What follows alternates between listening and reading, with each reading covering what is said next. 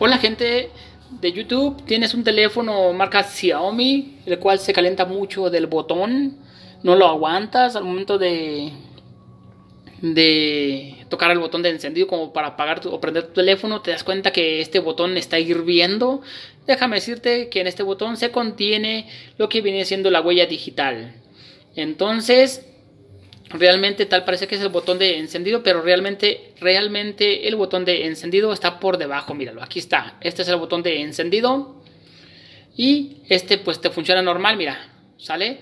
Simplemente este es el plástico, pero en este plástico se incorpora la huella digital. En este momento está súper caliente, no lo aguantas segundos en tu mano, en tu dedo, te quema prácticamente.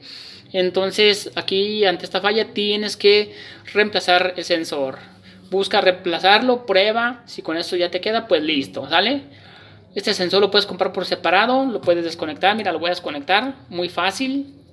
Este es un sensor de una de la huella digital de un teléfono Xiaomi Redmi 10, ¿sale? Este es el problema el cual se está calentando, muchos pudieran pensar o, o equivocarse o o sí, determinar que es el botón de, del encendido, el cual se calienta mucho, pero no, realmente es el, es el sensor de la huella, ¿sale? Por eso se te calienta demasiado. Eh, aquí en la parte lateral es donde viene el problema. Bueno, gente, nos vemos. Ánimo. Esperamos que este video tutorial te haya ayudado un poquito a determinar esta causa, esta falla.